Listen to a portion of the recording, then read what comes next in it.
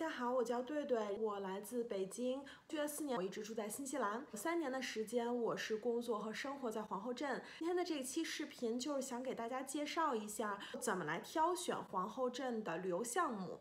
皇后镇可以说是世界极限运动的集合地。除了极限运动之外呢，也有很多亲子家庭类的活动项目。不管你是跟团还是自由行，只要是来新西兰南岛，那肯定会来皇后镇。相信有很多人都会有这样的困惑：我到底该怎么在预算之内玩性价比最高的项目？我过去的三年一直都在做旅游产品的推荐和销售的工作，我把所有的产品都尝试了一遍。现在我已经离开了这份工作，所以可以从比较客观的角度来给大家做一些推荐。那首先，我最喜欢的皇后镇的项目，我要放到第一个来说，就是皇后镇的古典蒸汽船。我相信每一个到过皇后镇的人都不会错过这艘在瓦卡蒂普湖上行驶的蒸汽船。它是南半球现在唯一还在运营的蒸汽轮船。它造型呢很古典，很独特。然后蒸汽船它是包括了不同的套餐，你可以选择只是坐船往返游览一下瓦卡蒂普湖，或者呢可以选择。坐船到达湖对岸的农庄，去参观一下农场，看非常有新西兰特色的剪羊毛表演和牧羊犬表演，还可以加丰盛的自助午餐或者自助晚餐。如果是带小朋友的家庭，可以选择农场参观，然后它还有赠送的一个茶点，可以喂喂小动物，拍拍照片。呃，我最喜欢的是自助晚餐的这个行程，是晚上六点钟到十点钟。一个原因呢，因为我有一整天的时间可以安排别的活动。另外，尤其夏天的时候，要时间很长。六点钟出发的时候是白天。阳阳光下，你可以拍拍湖水、山峰，景色很好看。在你吃晚餐的时候，是夕阳落日，傍晚，然后坐船回来的时候，天已经黑了。船上会表演钢琴演奏，非常的浪漫，很适合情侣的一个项目。而且我可以负责任的说，这个餐厅做的自助餐非常好吃，不是鸡肋的那一种。那这是我推荐的第一个项目。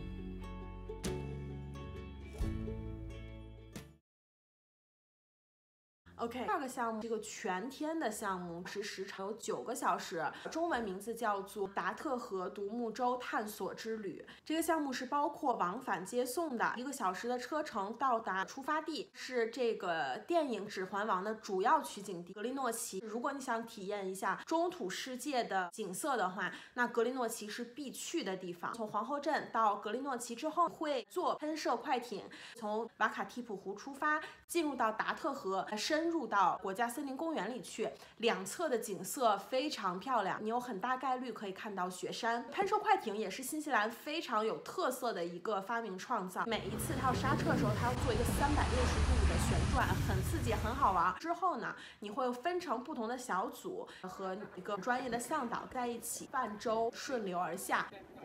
然后划独木舟的行程带你进入到一个很狭窄的小峡谷里去，这里水的颜色非常的清亮。划船到中途的地方会有一个丰盛的午餐做一个休整。这一天的行程你完全不会觉得无聊，是一个非常适合家庭或者情侣的项目。需要注意的，一定要带着游泳衣去。因为是需要换衣服的。如果你是带小朋友的家庭，小朋友的身高必须要在一米以上才可以玩这个项目。我个人觉得有一些比较刺激的元素，又风景观光结合的很好，是一个具有多样性的项目。然后第三个项目，我想说的就是几乎没有人会错过的天空缆车 Skyline。从皇后镇的镇中心搭乘天空缆车，坐到皇后镇的山顶上之后呢，你会看到一个皇后镇的全景。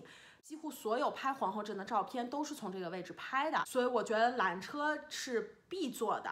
然后，如果你是比较有童心的人呢，你就要买缆车加滑板车的这个套餐。套餐一起买的话，大概几块钱牛币，你就可以去玩一下。滑板车呢是在皇后镇山的山顶上玩的，景色很好。它是相当于卡丁车一样，没有引擎，所以是手动控制速度。价格可以说是皇后镇所有项目里最便宜的。有一个友。情提示：最好是在你坐缆车的前一天稍微了解一下，在缆车上还有什么其他的项目，有可能会有兴趣玩的呢？因为缆车只有一次的往返，如果你坐过缆车下来之后，我又想上去玩一个别的项目，比如说滑翔伞之类的，你可能还要再买一次缆车票，就不是很划算。然后缆车上除了有这个滑板车之外呢，它还有一个自助餐厅，午餐和晚餐都是需要提前预定的。嗯，然后还有滑翔伞、丛林飞跃，还有一个五个小时的徒步。如果是徒步爱好者的话，你坐缆车上去，可以再走五个小时到一个更高的山顶上。这个步道呢叫做 Ben Lomond。另外，如果是做过功课的朋友，可能会问到，那我可不可以不坐缆车？我可不可以爬上去？答案是可以的。这个步道的名字叫做 Tiki Trail，它就在缆车卖票的。办公室的旁边，然后你就爬上去，大概一个小时一个半小时的时间。如果你爬山上去是免费的，但是这并不是一条适合推荐给所有人的步道，因为它比较陡，修缮的也不是很好。如果是刚下过雨之后呢，非常的滑，所以如果你是带小朋友或者是老人的话，不要走上去，那个步道还是蛮危险的。前面的三项都是一些可以说是适合所有人项目。后面几项我想推荐一些极限运动，因为毕竟皇后镇可以说是世界极限运动的一个集合地。这儿最出名的极限运动就是蹦极。皇后镇的蹦极只有一家公司在运营，叫做 AJ 哈卡。我们国家最有名的澳门塔蹦极也是这个公司在运营的，三十年的历史，百分之百的安全记录。呃，在皇后镇运营三个蹦极跳点，第一个最有名的就是卡瓦劳大桥，四十三米的高度，从桥上跳下去，你可以选择触水。你的头部或者手臂沾到河水，选择卡瓦劳大桥。很有纪念意义，高度也不是太高，景色非常优美，而且它有一个很好的观景平台，还可以自驾过去，可以说是入门级的一个蹦极。如果你想挑战自我的话，皇后镇最可怕的一个项目就是第二个蹦极跳点——内维斯峡谷蹦极。它的跳点是建在内维斯峡谷里，拿钢索拉在这个峡谷的正上方，做一个电梯一样的东西，把你运到这个房子里面，从房子上跳下去。我去体验过了，这个感觉腿会发软到，嗯，你不能想象。如果你就希望玩皇后镇最可怕的项目。那绝对就是内维斯蹦极，一百三十四米的高度，然后全程呢是四个小时的一个体验过程，你需要坐它的交通工具才能前往。第三个就是天空缆车蹦极，可以看到皇后镇的全景，它是一个自由式的蹦极，所以它的护具呢是系在腰上面的。四十七米的蹦极也是很值得去体验一下的。说过了蹦极之后，如果你有一颗想蹦极的心，就真的没有做好准备。下一个项目我想推荐的就是皇后镇在社交网站上非常有名的一个项目，叫做高空秋千。它可以单人和双人一起跳，两个人可以一起去玩这个项目。皇后镇有两个高空秋千，一个叫做内维斯峡谷高空秋千，一百二十米的高度。我。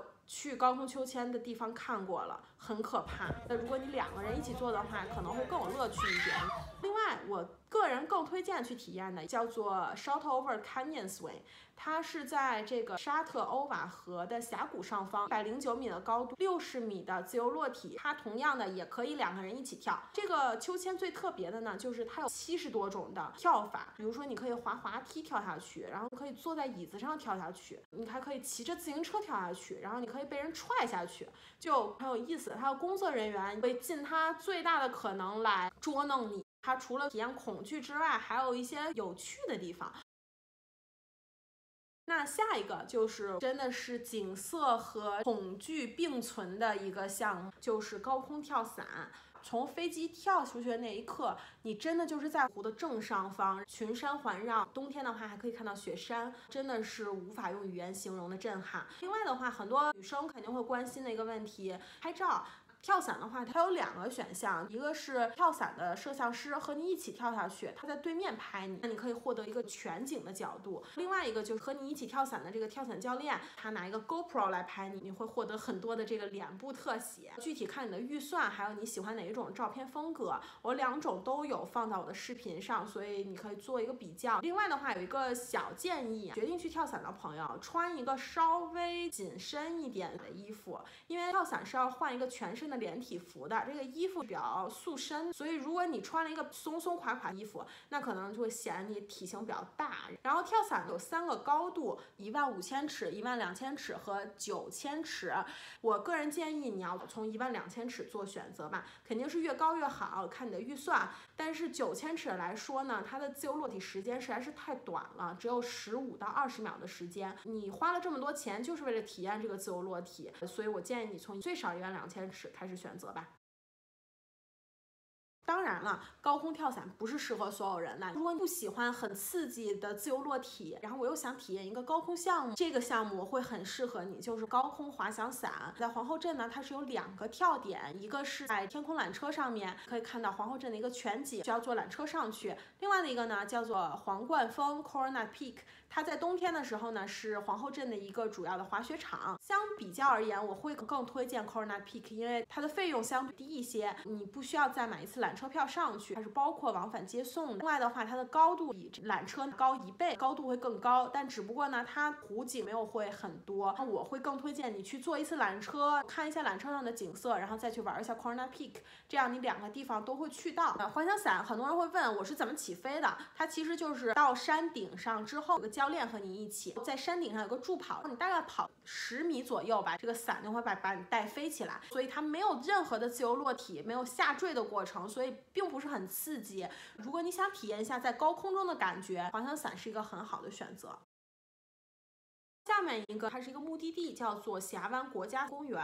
最出名的叫米尔福德峡湾。米尔福德峡湾距离皇后镇大概有四个小时的车程，这么远，为什么还有很多人去呢？因为它那边特殊的峡湾地貌，包括这四个小时的景观路，风景变幻多样，很大概率你可以看到冰川、瀑布、新西兰特有的高山鹦鹉。到了峡湾之后，会坐两个小时左右的游览观光船去游览峡湾的景色，我可能会看到野生动物。比如说海豚、黄眼企鹅、海豹等等。去峡湾的话呢，它其实有几种不同的交通方式，你可以选择自驾过去，然后只是预定一个船票。如果你只有两个人、三个人左右的话，推荐你选择坐大巴去参观这个地方，因为毕竟这个车程真的是很长，你大概要开九到十个小时的车，呃，中间有两个半小时都是山路，又比较崎岖辛苦。大巴的话，司机呢又是一个导游，他可以给你做讲。讲解，如果你的预算没有那么紧张，你可以选择飞到峡湾，会有固定翼的小飞机，五到十二个人左右，小容量，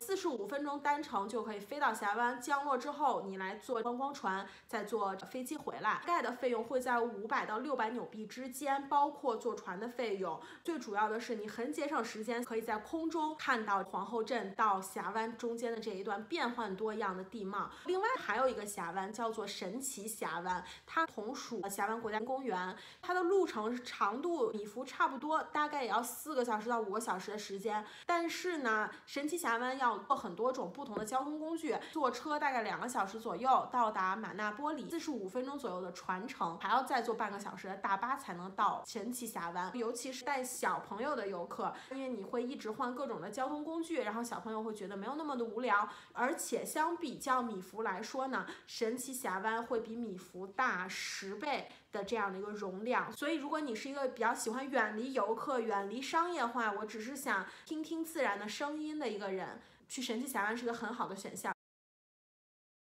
最后的一个项目呢，也是可以说是适合所有人的吧。直升机观光，它分有短途和长途的，可以根据你的预算来做选择。从皇后镇出发的话，最短的呢是一个二十分钟的飞行，皇后镇的上空飞一圈，欣赏皇后镇的景色，在山顶上有一个降落，从直升机上下来，然后拍一些照片再回来这样子。三十分钟、五十分钟左右呢，你就可以飞到冰川，在雪上降落，甚至可以穿裙子在雪山上拍一个纪念意义的合影。如果你选择长途的飞行呢，直升机可以飞到米尔福德峡湾西海岸的海边，景色变幻多样。因为你从湖区出发，经过山区、雪山、峡湾、海岸，直升机它对这个飞行高度的要求比较低，你会看得很真切。我觉得是一个非常好的工具，从上帝视角来看一下这个美丽的大自然。刚才的几项是我觉得最值得推荐给大家玩的，所有的项目都是因人而异，要看你个人的性格做一个规划。另外的话，如果你是很喜欢驾驶的人呢？皇后镇有两个很好玩的驾驶的项目，叫做 Buggy，其实我也不知道怎么翻译，它是一个适应各种地形的车。皇后镇这个公司呢叫做 Off Road，它是在皇后镇山上做一个山地的驾驶体验，你可以开到那种很陡的坡上再俯冲下来。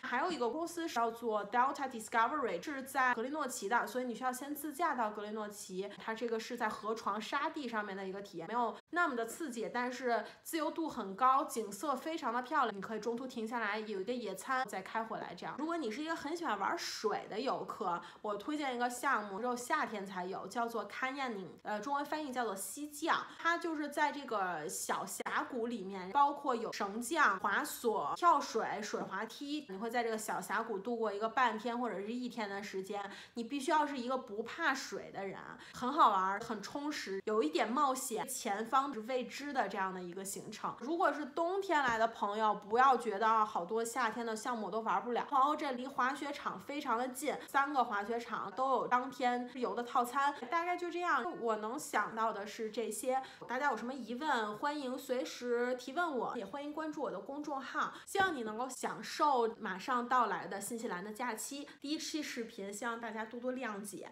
很感谢所有观看到这儿的人，因为我不知不觉就啰嗦了很多，谢谢大家观看，谢谢。